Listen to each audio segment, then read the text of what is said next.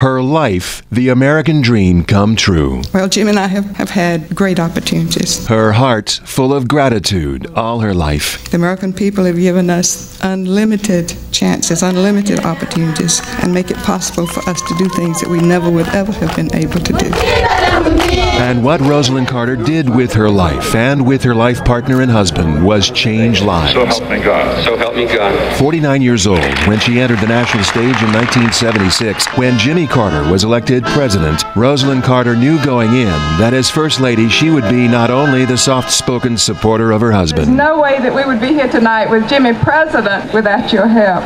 We love and care for every single one of you. Rosalynn Carter would also redefine the role of First Lady, advancing her relentless drive to pursue an independent agenda, her causes. Es un gran placer para mí estar aquí. Jimmy would declare that Rosalynn was the only politician in the family, and he meant it. Her unmatched ferocity to win cloaked in her gracious southern charms, earning her the nickname the Steel Magnolia. For too long, these people have not received the care they need. And she went to war for her signature cause, begun years earlier as Georgia's First Lady. We do have some specific recommendations. The fight to revolutionize mental health care and healing. That it's just an illness like any other illness.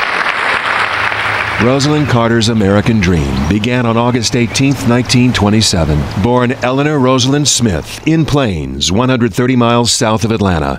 When Rosalynn was 13, her father died and she had to take charge of the family so her mother could get a job outside the home. Rosalynn managed all of that and still graduated from high school and college.